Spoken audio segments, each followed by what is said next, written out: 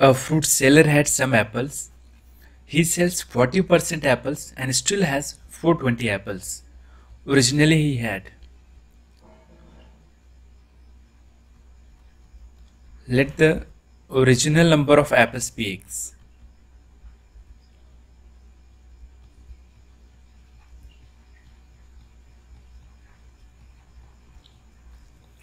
He sold 40% apples. So the percentage of apples left with him, him will be 100 minus 40% is 60%. 60% of total apple is left with him. X is the total apple and 60% of total apple is left with him which is equal to 420.